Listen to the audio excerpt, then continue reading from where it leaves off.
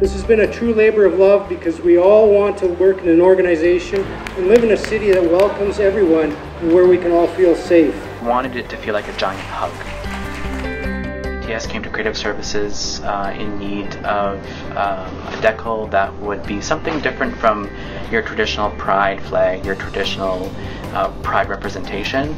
With the ribbon uh, and the heart, we felt that was a really great way to communicate uh, from us to the Edmonton citizens uh, that we care for them, that we understand them, that we support them.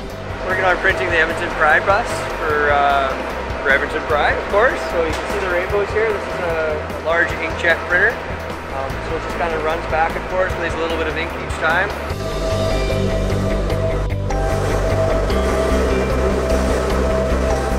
You see the vibrant colors that it brings out. And at the end of the process, we'll panel it out on the bus. And you'll have a beautiful bus. The big importance to us as ETS is that we have such a vast operator pool.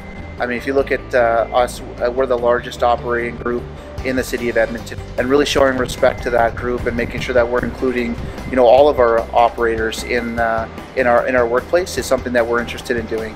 So making sure that we're representing that every day, uh, and this is a bit of symbolism to that, that we can show our respect for uh, our diverse nature.